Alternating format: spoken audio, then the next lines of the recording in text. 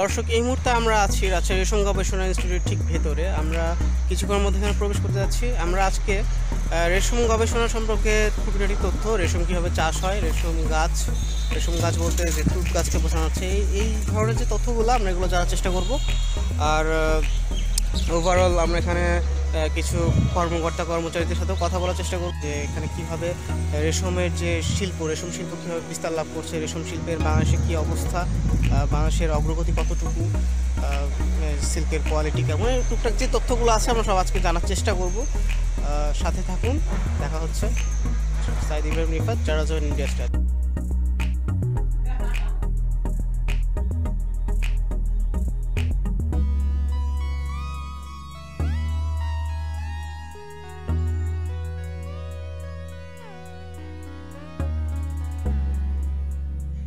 রাজশাহী রেশম গবেষণা ইনস্টিটিউটের প্রযুক্তি শাখা, যেখানে রেশম গুটির সাথে সম্পর্কিত নানা ধরনের সরঞ্জামাদি খুব সুন্দরভাবে সংরক্ষণ করে রাখা হয়েছে।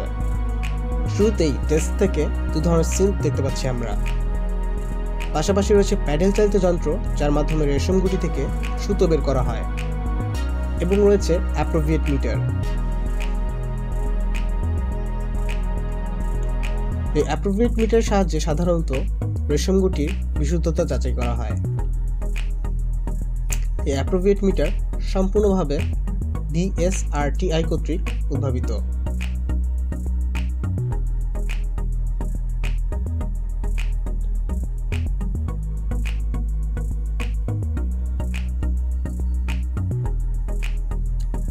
রেশম গুটি থেকে সুতো পাবার জন্য প্রথমে একে সেদ্ধ করতে হয় প্রায় বিশ থেকে পঁচিশ মিনিট।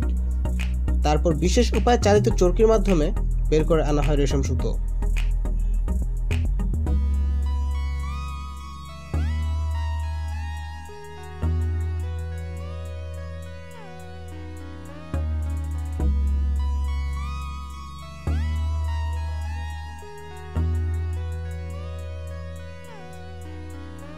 রেশম সুতো কীভাবে আসে, তা দেখবার পর আমরা গেলাম মিউজিয়ামে।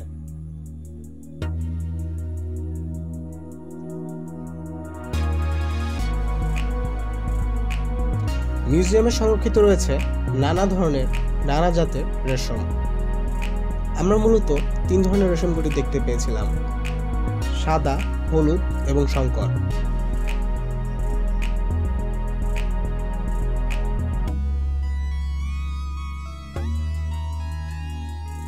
এখানে রেশম পোকার জীবনচক্রের বিভিন্ন পর্যায়ও দেখতে পেলাম আমরা।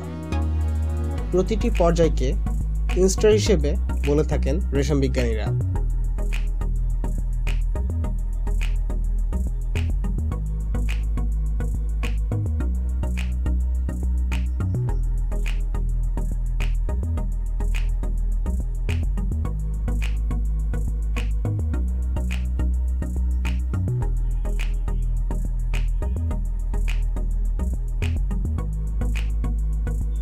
এরপর আমরা যাই জার্ম প্লাজম ব্যাংক দেখতে, যেখানে প্রায় তিয়াত্তরটি জাতের তুত গাছ চাষ করা হয়। তুঁত চাষের সুবিধার জন্য দুটি বেশ বড়সড় জলাশয়েরও ব্যবস্থা রয়েছে রেশম গবেষণা ইনস্টিটিউটের।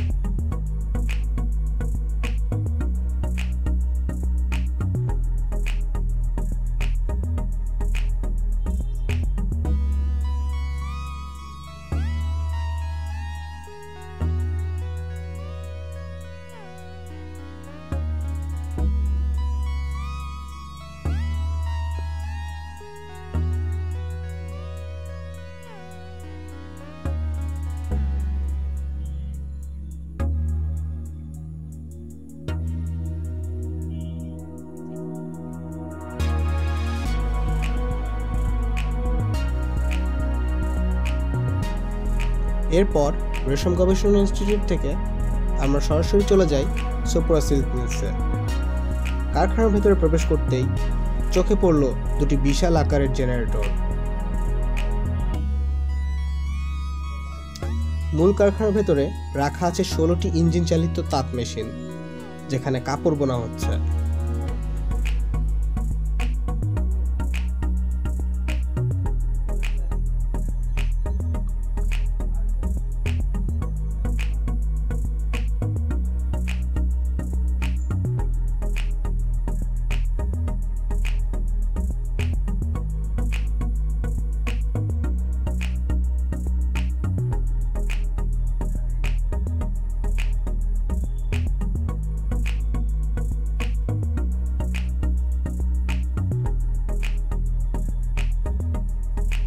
পাশাপাশি আরেক অংশে রয়েছেন কিছু নারী কর্মী যারা রেশম কাপড় সেলাই করছেন।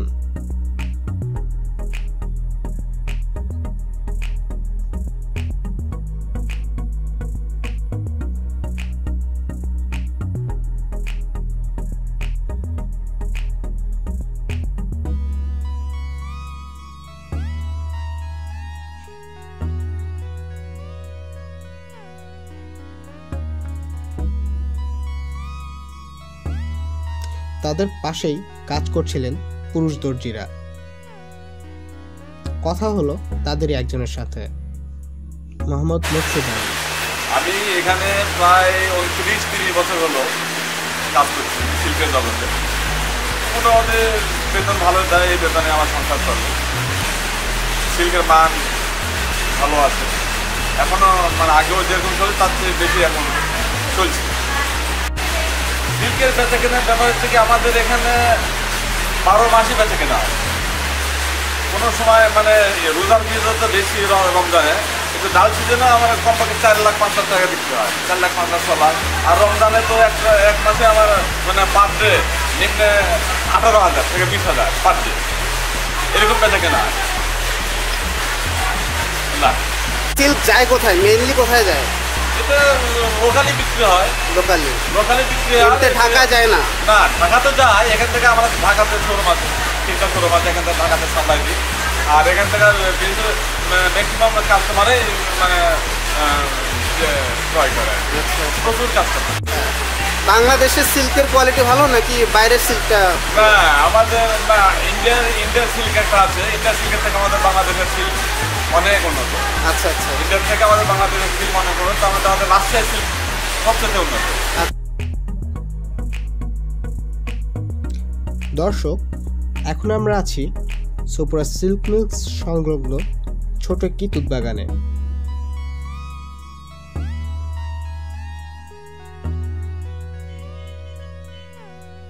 এখানে দেখা মিলল মোহাম্মদ ফারুক হোসেন নামে এক ব্যক্তির সাথে। যিনি প্রায় এগারো বছরের বেশি সময় ধরে রেশম চাষের সাথে যুক্ত আছেন।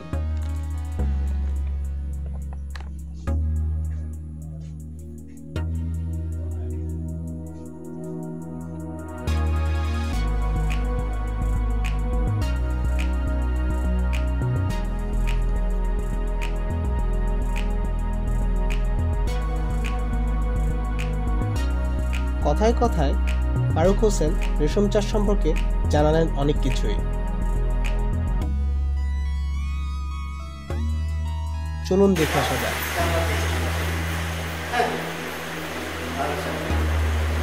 এই যে আমাদের এই পেপার ডিম, এক নম্বর হলো ডিম। ডিম কোথা থেকে আসে এটা পরে বলা যাচ্ছে হ্যাঁ? এই এই ডিমের বয়স যে আঠাশ আট থেকে দশ দিন হবে তখন আপন মনি বাচ্চা ফুটে বের হবে হুম? তখন এখানে চিকন করে পাতাটা ফুটে ছিটাই দিতে গেলে পাতা খাবে আর এই আস্তে আস্তে বড় হবে। হ্যাঁ। এই এই আস্তে আস্তে খাবে, চার দিন খাবে, একদিন ঘুমাবে। হুম? মানে চার দিন খাবে, একদিন ঘুমাবে। কেন ঘুমাবে? যেমন সাপ কুলোস ছাড়ে এমনিভাবে কুমোস ছাড়ার জন্য চব্বিশ ঘণ্টা কিছু খাবে না। আবার চার দিন খাবে, আবার একদিন ঘুমাবে। এভাবে বিশ দিনের মাথায় তারা চারবার কুলোস ছাড়বে। হুম, আবার পোকাটার বয়স আঠাশ থেকে তিরিশ দিন, আঠাশ থেকে তিরিশ দিন বয়স হয়ে গেলে পূর্ণ বয়স হবে। হ্যাঁ এই এইরকম আঠাশ থেকে তিরিশ দিন বয়স হয়ে গেলে পূর্ণ বয়স হবে। পূর্ণ বয়স গেলে এটা হচ্ছে সেই প্রকার না? হ্যাঁ? এটা হচ্ছে একবারে পরিপুষ্ট না এখনও পরিপুষ্ট হয়নি এখনও তিন দিন থাকবে। আচ্ছা আচ্ছা। সামনে তিন দিন থাকবে। এই পোকাগুলো অন্য পোকার থেকে অনেক বড় লাগছে যে? আর বড় নাই। আচ্ছা। হ্যাঁ মানে আরও তিন দিন থাকবে থাকবে। দিয়ে আবার বড় হবে আর আস্তে আস্তে বড় হবে। আরও বড় হবে? হ্যাঁ বড় হওয়ার পরে গায়ের রঙটা একটু হালকা হলুদ কালার হবে তখন পাতা খাওয়া ছেড়ে আচ্ছা। পাতা আর খাবে না। তখন এখান থেকে বেছে বেছে নিয়ে যেয়ে এরকম খাঁচায় ছেড়ে দেবে কোথায় এই খাঁচা না? হ্যাঁ এই খাঁচাতে ছেড়ে দিতে গেলে তারা মুখে লালা দিয়ে আটচল্লিশ ঘণ্টার মধ্যে গুটিটা তৈরি করে এই যে এটাই হচ্ছে রেশম গুটি। এটা হলো রেশম গুটি। আচ্ছা বা আচ্ছা, পোকা পোকার গুটি। পোকার গুটি। হ্যাঁ। মানে এটার ভেতর পোকাটা আছে? হ্যাঁ ভিতরে পোকাটা আসে। পোকাটা আছে আচ্ছা আচ্ছা। আচ্ছা আটচল্লিশ ঘণ্টার মধ্যে গুটিটা কমপ্লিট তৈরি করবে একটা জি। পোকা হ্যাঁ? তারপরে যে গুটিতে আমি সুতা তৈরি করি ওই গুটিটাকে রোদ্রে নিজে পোকাটাকে মেরে ফেলতে হবে হুম।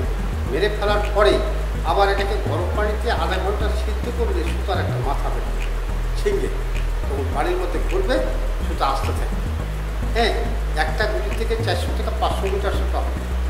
কিন্তু অধ্যাত্মিক চিকুন তো একটা গুটি সুতা হবে না। এরকম আটটা থেকে দশটা গুটি মিলিয়ে একটাতে দিলে এরকম একটা তার হ্যাঁ আবার যেটা আমি পোকা তৈরি করি, পোকা তৈরি করতে গেলে অল্প কিছু গুটি তাজা রাখতে তাজা রাখতে গেলে ওই পোকাটা ভিতরে উম, ভিতরে জীবিত থাকে। তখন ওই পোকা আবার কেটে বের হবে আট থেকে দশ দিন পর। তাজা রাখতে তাজা রাখতে গেলে ওই পোকাটা আবার আট থেকে দশ দিন পর এরকম প্রজাপতি হয়ে কেটে বের হবে। হ্যাঁ? প্রজাপতি হয়। আচ্ছা।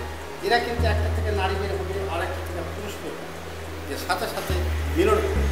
ছয় ঘণ্টা একই টানা মিলন থাকে জি। থাকার পরে মিলনটা আপন মনে ছুটে যায়।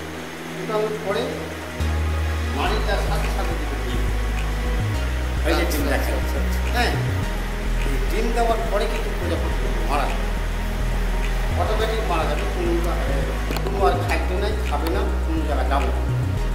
আর এই যে এই পাতাটার নাম হলো পোকাদের খাদ্য পাতার নাম হলো তুত পাতা পুত পাতা তুত পাতা তুত পাতা তুত তুত ওকে। হ্যাঁ। এই পাতা ছাড়া অন্য কিছু খাবে না। পোকাদের কোনো চোখ নেই অন্য কোনো জায়গায় যাবে না। শুধু এই তুত গাছের পাতাই? হ্যাঁ এই পাতা ছাড়া অন্য কিছু খাবে না। আর এই পোকার জাত হলো দুইটা। হ্যাঁ একটা সাদা জি। আর একটা হলুদ। এই যে হলুদ। এটা হলো সাদা। এটা সাদাটা না? হ্যাঁ। এই সাদা মনে করেন যে এটা জাত। চায়না জাত। চাইনা জাত। কোনটা ভালো? একই। দুটোই? দুটোই খাবার একই সবই একই। কিন্তু মুখের লালাটা তৈরি আর এই যে দুই ধরনের সুতা দুই ধরনের সুতায় কি কোনো পার্থক্য আছে নাকি? না পার্থক্য কোনো না এটা আছে। মানে সাদাটা যেটা হয় ওটা অধ্যাত্মিক ছিল সাদাটা চিকন বেশি। অধ্যাত্মিক ছিল আচ্ছা আচ্ছা আচ্ছা। মানে এই একটা কোটি টাকা চাইনাতে আড়াই টাকা তিন হাজার মিটার সোনা আচ্ছা। আর বাংলাদেশের আবহাওয়ার কারণে মানটা ছোট হয়ে যায়। জি। আর তিনশো থেকে চারশো মিটার সোনা চারশো মিটার চারশো এই। আচ্ছা। এবার আপনারা দেখেন চলেন সুতা ঠিক আছে। এরপর তিনি আবার আমাকে নিয়ে গেলেন, রেশম গুটি থেকে কীভাবে সুতো তৈরি হয় সেটি দেখাতে। আবার সেই একই দৃশ্য, তবে এখানে আরেকটি নতুন বিষয় জানতে পারলাম। রেশম গুটি থেকে যে মিহি সুতো বের হয়, তারপরেও রেশম গুটির যে অংশ অবশিষ্ট থাকে, তাকে বলা হচ্ছে অ্যান্ডিমটকা সিল্ক যা থেকে গরম কাপড় তৈরি হয়।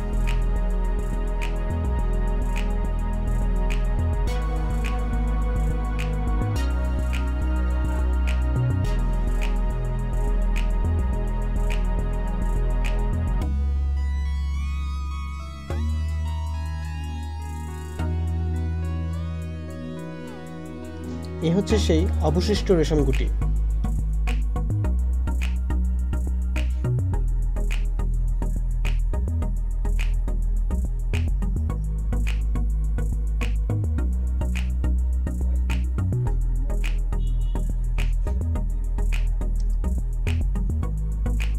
এটাই হচ্ছে সেই অ্যান্ডি মটকা সিল্ক।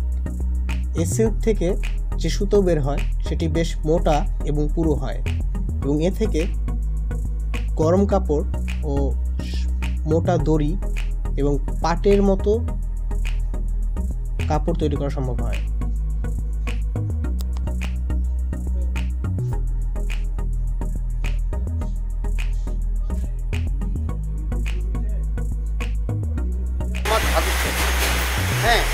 দেশের বাড়ি চাপাই। চাপাই নবাবগঞ্জ ভোলাহাট হ্যাঁ এই সতেরো শিল্পে আমি এই পলু পোকার সম্বন্ধে আমি চাকরি করি। পলু পোকা আমার বাপ, দাদা, এই চোদ্দ পিড়ি থেকে আমার এই পলু পোকার চাষ তৈরি করে আছে আমাদের, আমার কোনো ট্রেনিং নাই, আমি ট্রেনিং পাচ্ছি না, আমি কোনো লেখাপড়া জানি না। আমি নিজের ইচ্ছে বাপ, দাদার গ্যারেন্টি আমি এই সব কাজ শিখেছি। বা এই সতেরো শিল্পে আমি পোকা তৈরি করি। আর সুতাও তৈরি করি। সুতা আমার বাড়িতে তৈরি করছি, এখানে তৈরি হ্যাঁ? পোকার সম্বন্ধে কতদিন থেকে আমি আর আসি আর যে বলার বুঝতে কেন? এই এই কপুরা থেকে আমি চাকরি করি তেরো বছর। এই মাত্র।